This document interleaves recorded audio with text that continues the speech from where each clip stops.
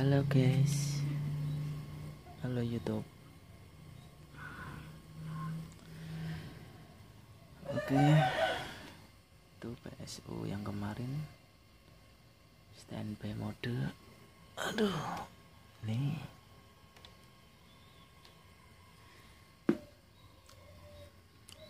Kita tinggalkan yang itu.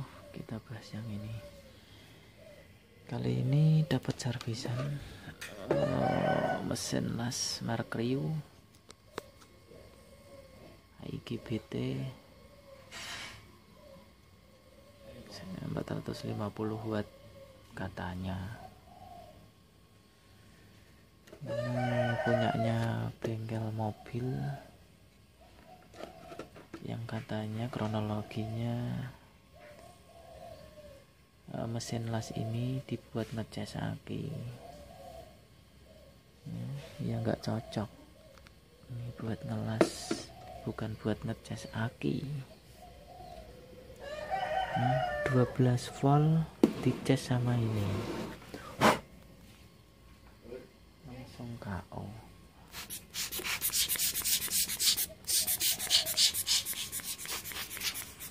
nah, ini GBT pakai IGBT 40 N60 nggak jelas ya guys.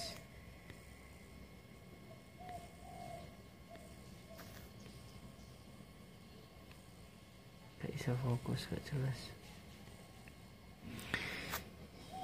Ini GBT nya 40 N60 kelihatan ya 40 N60 ini area PWM nya SMD semua. Area PWM ini PSU 24 volt nya di sini. Ini relay strat up. Single trafo guys donat. Nah, ini GDT nya di sini ini area GDT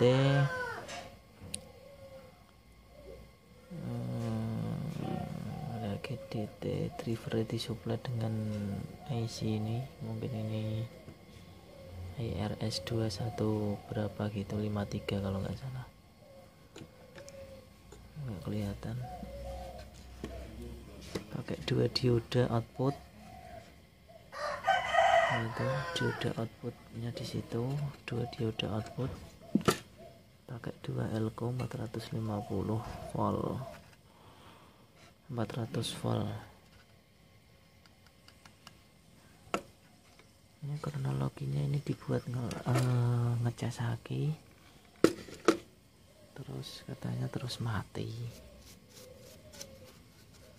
Nek aki ini di seri guys ndak masalah ini akhirnya nggak di seri ya 12 volt diantem 60 volt. Nah, mungkin ampere nganggo swita ampere yo KO mesinnya ya nggak sesuai nih guys. Ini bukan buat jasaki datang kemarin dua servisan ini ini sama itu. Itu juga buat ngecas aki pecah semua diodanya ini. Diodanya pecah guys. Power supply buat rig tunggu ngecas aki KO kabeh elkonya juga kembung semua ini elkonya. Pakai elko ini dalamnya. Oke kita bongkar dulu. Nanti kita cek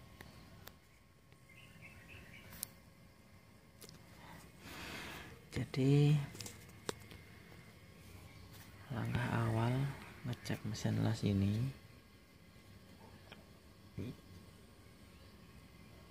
Untuk instalasinya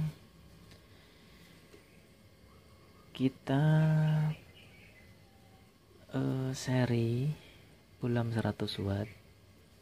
Bulamnya 100 watt ini di inputnya dulu input AC ya atau kurang lebih eh, bolam ini sebagai fuse atau sekring. Jadi untuk pengaman nah, kalau nggak dibebani nggak masalah untuk pengaman aja ini. Kalau nggak dibebani ini untuk ngelas tidak masalah untuk diukur-ukur aja itu tidak masalah. Jadi apabila nanti ini MOSFET-nya itu rusak ya kan otomatis B plus itu konslet. Nah, ini menyala. Ini menyala. Jadi keseluruhannya ini nanti enggak enggak akan merusak keseluruhannya. Maksudnya gitu. Jadi untuk indikator aja apabila uh, di bagian tegangan tingginya ini bermasalah ya di bagian 450 voltnya ini bermasalah lampu ini akan menyala guys. Ya.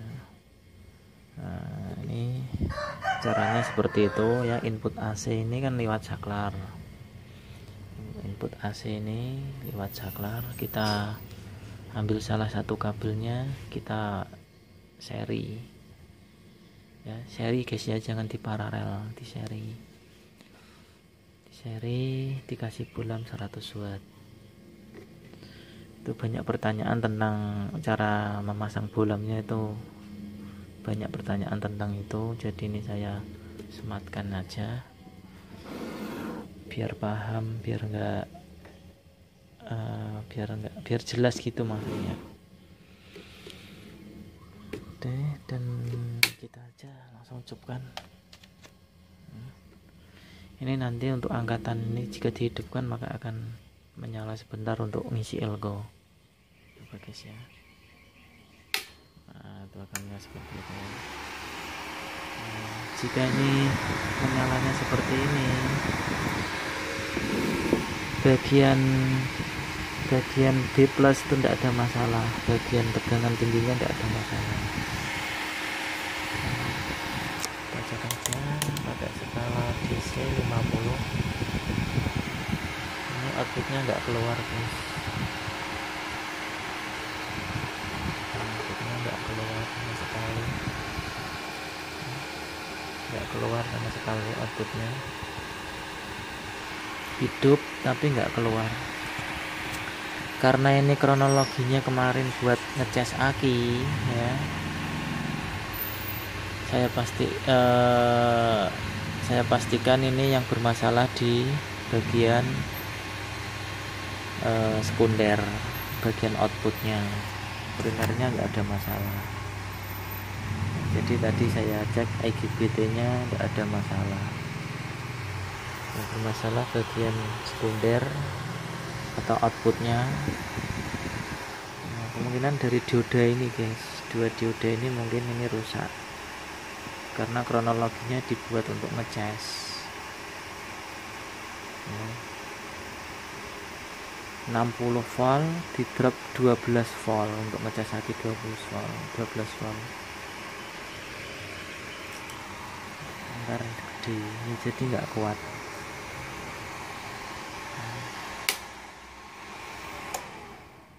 Ini nanti kita bongkar.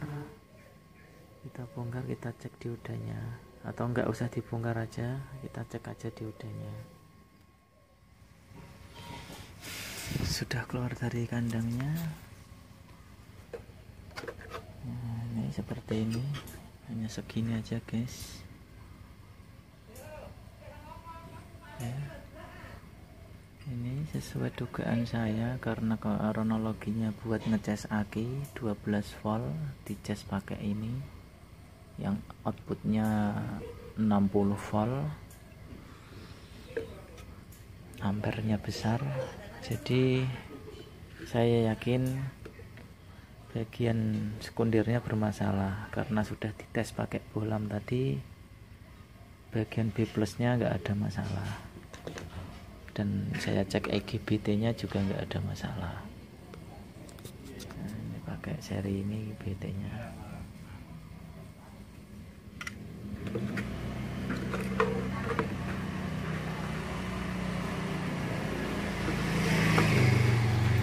dan sesuai dugaan saya guys ini ternyata diodanya meledak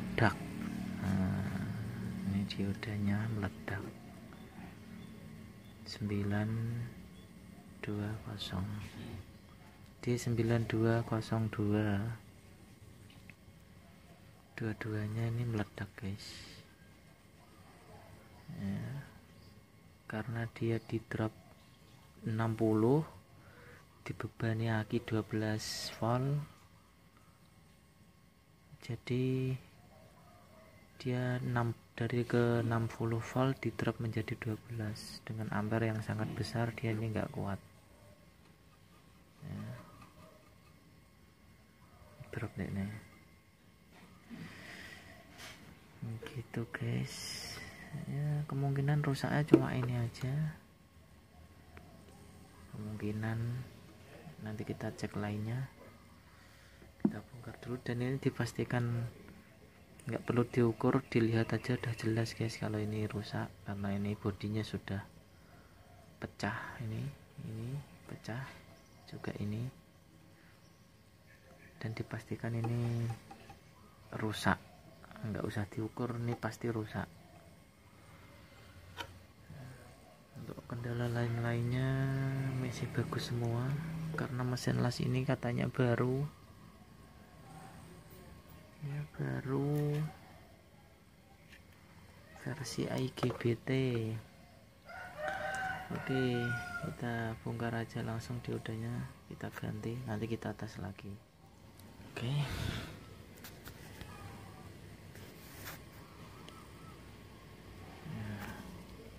Ini dioda aslinya tadi yang pecah. Ini dioda aslinya yang pecah guys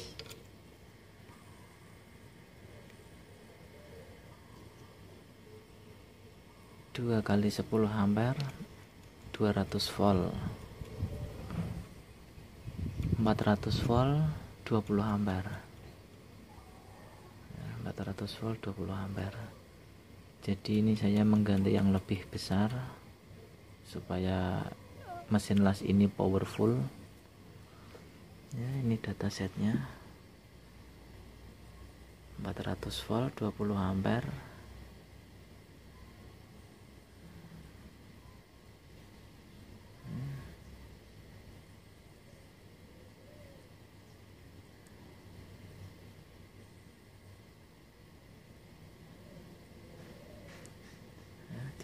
diaplikasikan untuk eh, ini untuk yang ini untuk mesin las. PVC power supply juga bisa ultrasonic cleaner UPS dan lain-lain. Sedangkan tadi yang ini 9202 dia hanya menghandle 2 kali 10 ampere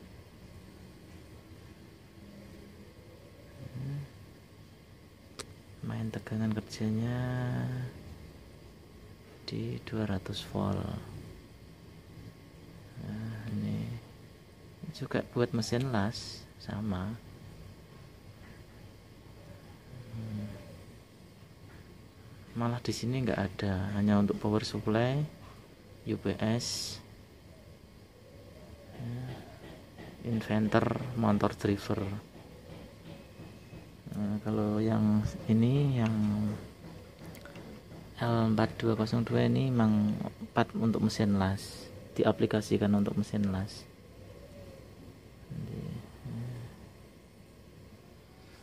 Nah, ini memang diaplikasikan khusus buat mesin las. Ya, application freewheeling snowboard clamp inversion welder PVC plating power supply ultrasonic ya UPS dan ini mampu menghandle tegangan kerja 400 volt. Nah, jadi nanti ini akan saya pasangkan di sini. Saya ganti yang 4202 yang mungkin jauh lebih baik ketimbang yang ini sebetulnya diganti yang 60 ampere malah lebih bagus. Ya malah lebih bagus dia sempurna. Dan outputnya nanti dikasih cok atau induksi induktor itu malah lebih bagus lagi.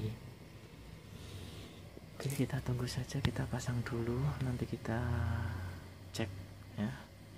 Nanti disertakan semuanya untuk pengukurannya. Malah berapa tegangan gate-nya berapa tegangan fall out-nya ya DC fall out-nya berhubung nggak ada yang megang ini ya saya jeda dulu videonya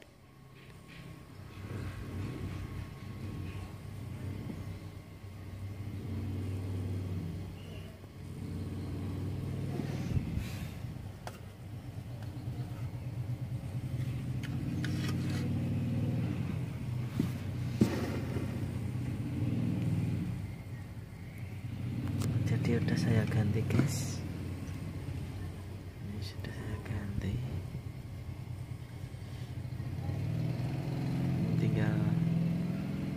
uji coba dipasang di sini.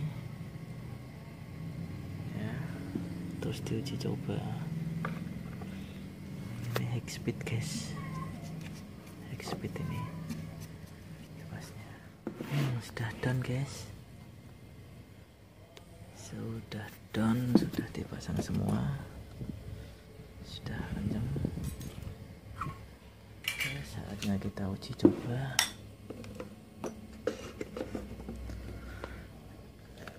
jadi tetap safety ya guys. Uh, maksudnya kita tetap safety pakai bolam 100 watt. Jaga-jaga supaya enggak loss nanti kalau ada kesalahan. Ya ini tadi udah diganti diodenya udah dipasang semua. Tinggal kita tes saja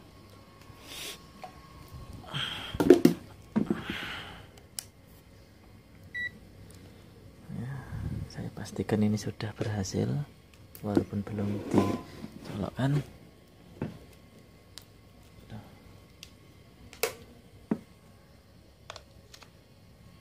saya pastikan ini sudah berhasil guys oke kita lihat stratnya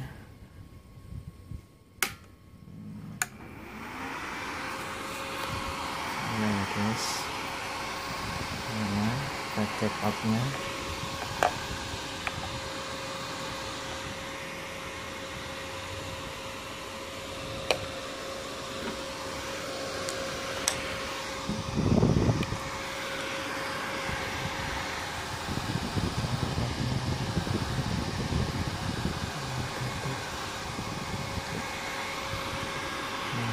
keluar guys 56 volt guys. Keluar 56 volt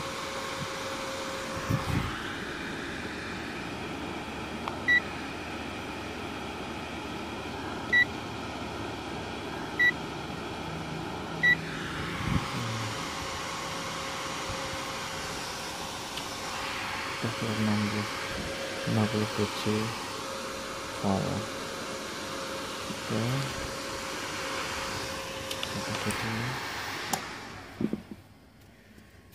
sudah sukses sudah berhasil. Terus berapa ini tegangan gate nya kita cek aja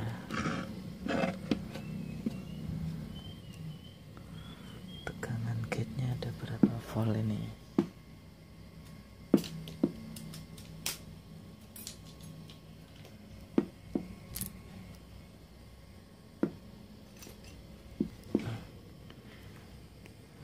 untuk mengukur tegangan gate ini harus kita kerok dulu guys karena ada fibernya ini. Ini karena ini ada fibernya. Ini diukur gate sama source.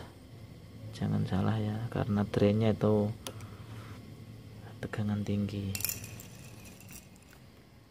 Kita colok lagi ini saya pakai skala DC ya kita coba karena uh, tegangan gate ini frekuensinya tinggi. Bisa apa enggak bisakah atau tidak ini coba ya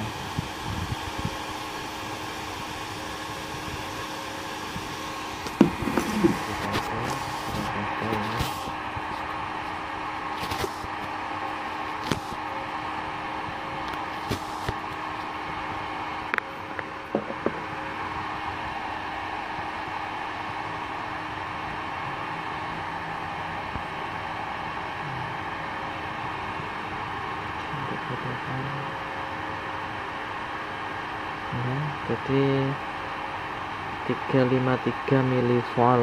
Enggak ada enggak ada satu volt. Coba kita pindah ke AC lagi tegangan AC ini AC ini coba di AC ada berapa ini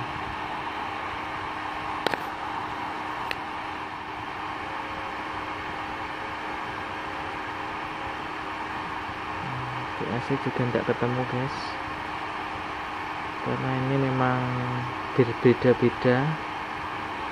Beda mesin las beda uh, frekuensinya juga beda. Coba kita ke frekuensi. Kalau frekuensi ini pasti keluar guys. 45 kHz ya, berarti cycle 48 persen. Nah kenapa kok ini tidak keluar untuk tegangan DC nya di, di kaki gate? Hmm. DC nggak bisa keluar di kaki gate apa? Ya, cuma terdetek milivolt ya karena ini spesifikasinya tidak bisa diukur dengan multi biasa. Di AC pun juga nggak ketemu guys nah nggak ketemu? Kalau di tester analog ketemu tapi ya agak tinggi tegangannya nanti. Soalnya kan yang di adjust frekuensinya. Ukurnya harus pakai apa? Osiloskop kita coba pakai osiloskop ini kita pakai osiloskop probnya saya sambung ke sini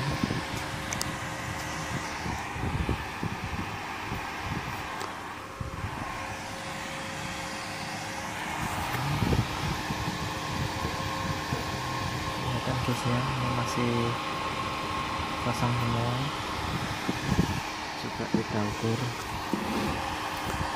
tegangan pada kaki gate nya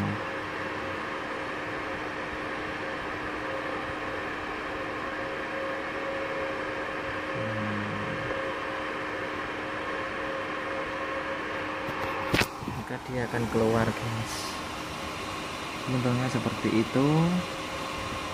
VMAX itu 17 VMIN 15 nah VRMS itu guys tegangannya 11,27 volt AC nah, frekuensi 45 kHz jadi cycle 4849 ini sudah bisa kebaca bentuk gelombangnya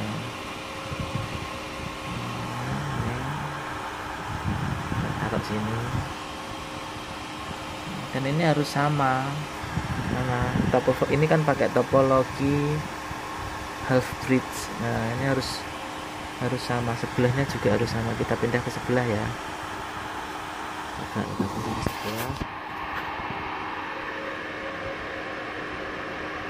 Hmm. sama guys ini kita pindah ke sebelah sama 12,8 ya ini dropnya kebalik. Coba tak ya dropnya ini 12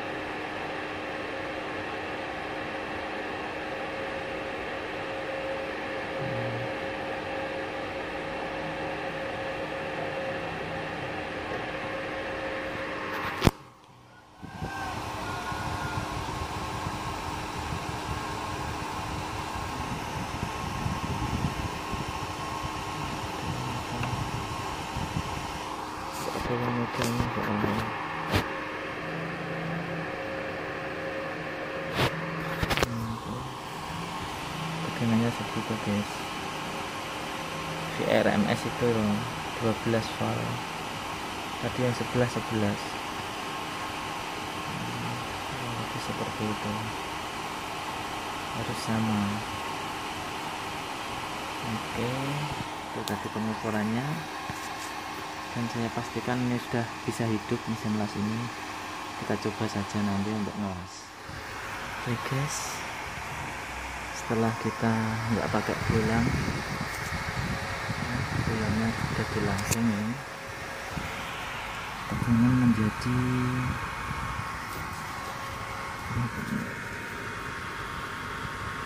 67 volt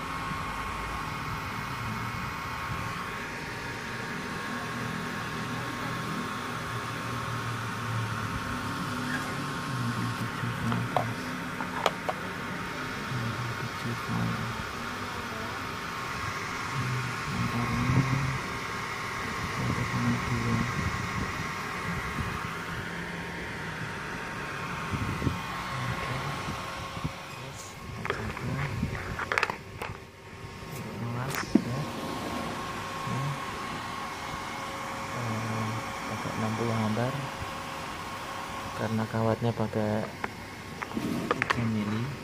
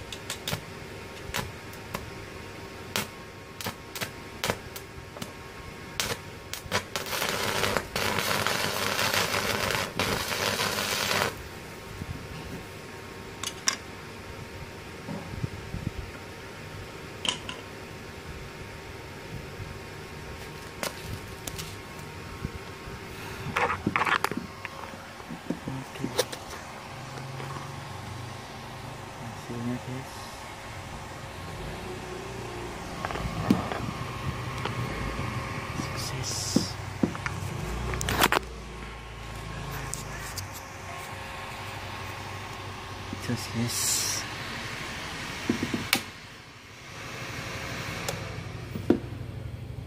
Dan ini udah sukses. Sukses. Oke, okay, semoga buat referensi aja ya. Jangan sampai kita mengecas aki pakai mesin las ya, ndak boleh itu. Ya ndak sesuai.